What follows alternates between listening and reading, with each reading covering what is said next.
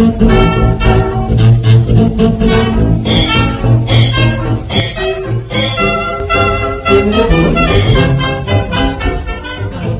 YouTube.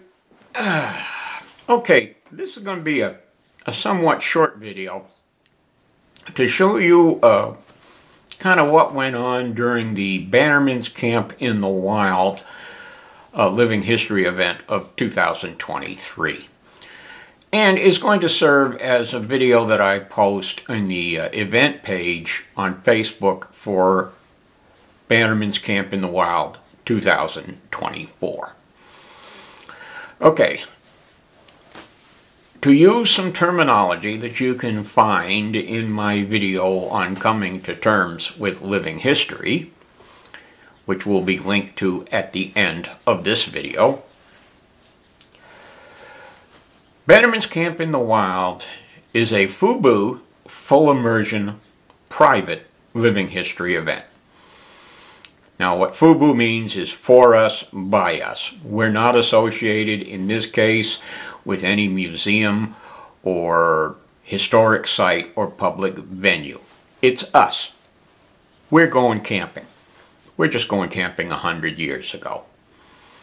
Okay?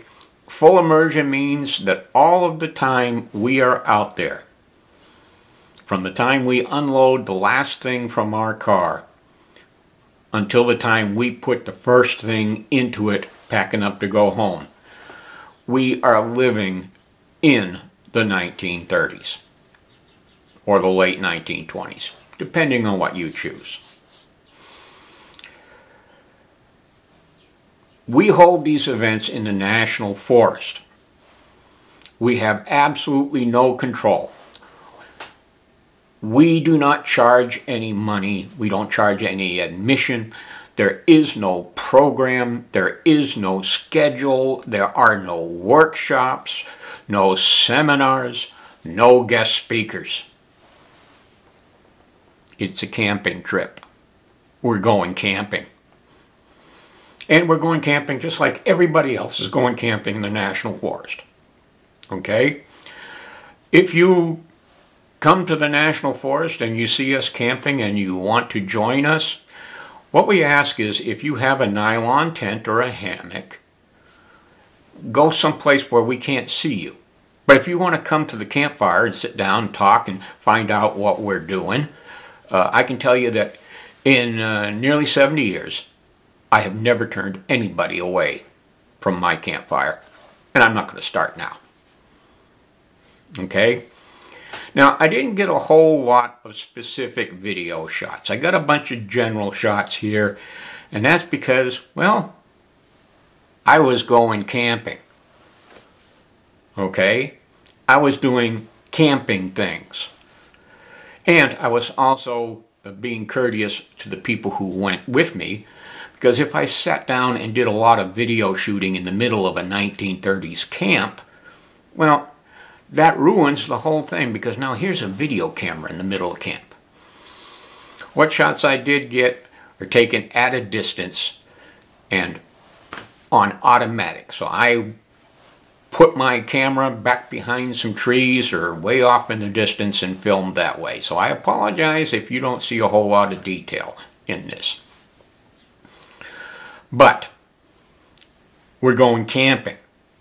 And we're going camping like we did a hundred years ago. If you expect to find the bathroom, you will find a bathroom. You will take a shovel and you will go out in the woods and you will dig a hole and you will poop in the hole and cover it up just like your grandfather or your great grandfather did when he went camping in the 1920s and the 1930s. Okay? It's not authentic if you do it any other way. If you want a complete, authentic living history, a complete, full immersion living history, classic camping is the way to go, in my opinion. But hopefully, over all of this, what I'm talking about, some of these clips that you see here that, that I'm showing, uh, give you an idea of what a classic camping campout is. Now, this is being held in Texas in the Sam Houston National Forest.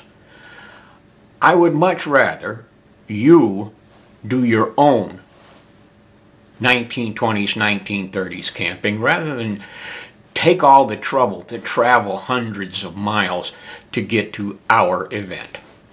Happy to have you if you want to do it, but I would much rather see this hobby expand. Okay? Use this as an example. Use this as kind of to see what can be done. Okay? We cook. We sleep in sleeping bags. A couple of the guys go out to go to the fishing hole.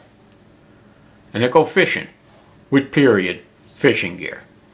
And then they come home and they tell period stories about the one that got away. We're going camping. Okay? If you want to go camping, if you like camping and you like living history, do a classic camping camp, just like we're doing at Bannerman's Camp. Okay? Hope to see you there. I always schedule these things on a full moon weekend, weekend closest to the full moon. And this year, in 2024, that's the weekend of the 26th of January. We do it after deer season closes and before it gets too warm to comfortably camp. Alrighty? If you live in Texas or are close to Texas and you want to come and camp with us, we will see you there.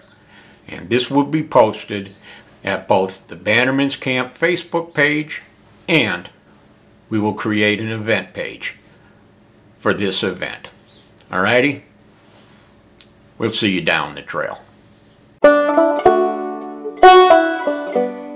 Thank you.